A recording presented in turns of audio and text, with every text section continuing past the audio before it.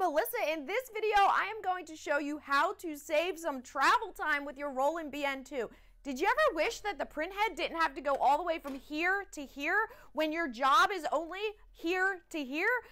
I'm going to show you the trick to do just that, and you are going to have your mind blown on how much time this saves. Let's go.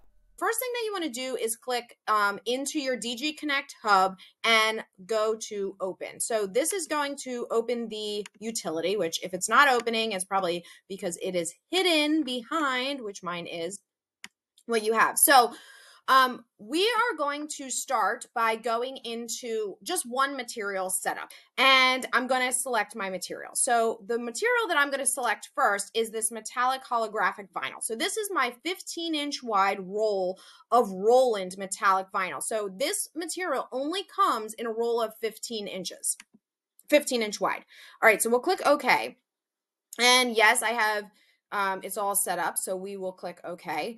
All right, once we have the material loaded and it's telling us output possible by going into this hamburger menu and scrolling down, printing movement range. So this has to do with where the print head is going. So if you have a print head that, or if you have a material that's only 15 inches wide, you don't need the print head to go the extra five inches. So you can change this to say media width or output data width.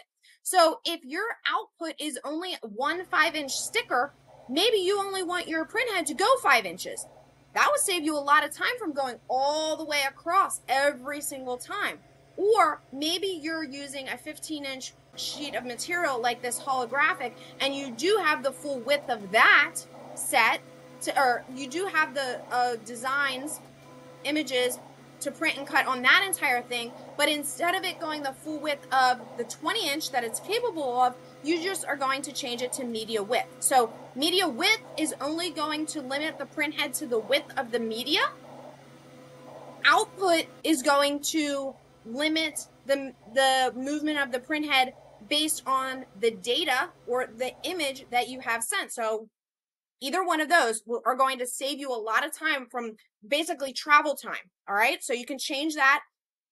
Keep in mind these changes that we're making are only applicable per material. So you're going to have to go into all your other materials and change them if you want. Okay. And then again, click apply. Want a few more secret hidden tricks for your Roland BN2? I've got those too. So check out this video for a couple more.